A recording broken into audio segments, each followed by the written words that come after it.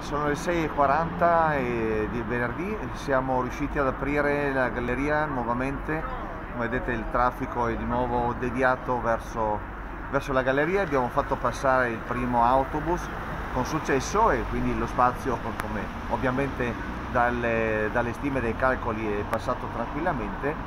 a 18 giorni dal crollo di Calcinaci nella galleria di Muggia, con le radici degli alberi sovrastanti che incombevano sulla volta, il passaggio dalle rive a via Roma è nuovamente garantito. Le opere di centinatura nel tratto interessato sono state eseguite ribassando l'altezza massima del tunnel di 30 cm, ma consentendo comunque il passaggio degli autobus. Ma anche l'autobus, devo dire, come vedete anche dal filmato, è passato tranquillamente, per cui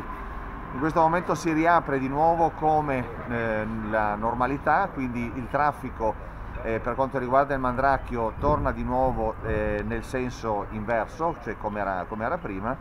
L'inconveniente ha permesso, come ha spiegato il sindaco Paolo Polidori, di sperimentare la viabilità alternativa con semafori e sensi unici che potrebbe tornare utile se andasse in porto il progetto di raddoppio della galleria, più volte indicato come un obiettivo in campagna elettorale. È stata una buona prova nonostante sia il periodo invernale, per cui con un impatto molto meno eh, eh, grande sulla, sulla, viabilità, però abbiamo visto che comunque può funzionare ovviamente in, in, in emergenza, in una situazione in cui la galleria dovrebbe essere chiusa per, eh, per futuri lavori, per l'ampliamento.